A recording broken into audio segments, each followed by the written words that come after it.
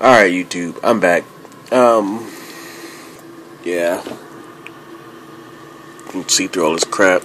That's my T Stirmi, which was supposed to be a T Blondi that I ordered from Backwater Reptiles.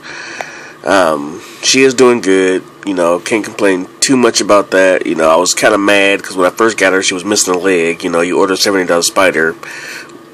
For one, I wish, you know, would have had all its legs, but I know not really a big deal. It'll grow back in a month or two. Fine. But, you know, the whole problem is, I mean, as you guys can see, um, hold on a minute. Alright, well, she kind of took off running, but even from her back legs, as you can see, there's nothing back there.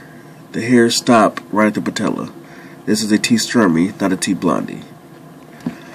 So, backwater reptiles um, need either need to learn their T's or quit trying to quit trying to get over on people. Excuse me. Um, but I mean, other than that, she's just kind of in her hide right now. She is doing well, even though it's the wrong the wrong T. Um, I don't know. I'm just kind of upset. Kind of really aggravates me. But uh, all my other newbies are doing well. Pretty good and doing well in their enclosures. I did get a newbie the other day at the reptile show.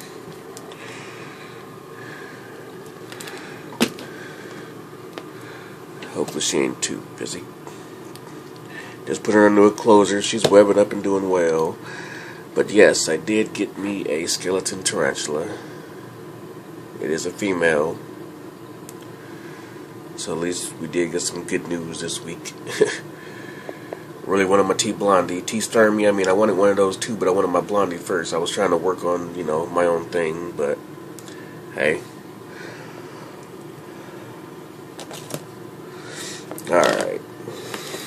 Um, other than that, I don't know. I'm just trying to get that out there. Backwater Reptiles, I was trying to keep the name out, but I just don't. I'm tired of being screwed over by people. oh, another good news. Let's see if you can see her. She's probably hiding. Well, not sure if it's a her or him. My um Mexican red rump did molt. She's even got her getting her adult colors. That's pretty nice.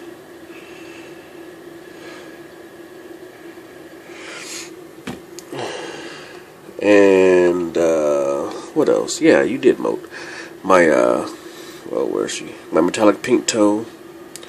She did molt this week too. I'm waiting on um, my Peru pink toe to molt. Hopefully she'll get there pretty soon.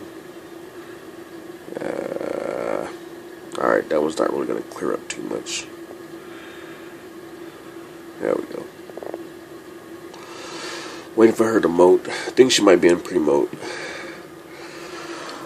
Oh, other than that, I'm getting off of here. Uh, you guys have a good one. Like I said, if you guys had good luck with backwater reptiles, then you guys can do your own thing. But for me, I'm done with backwater. You know what I'm saying?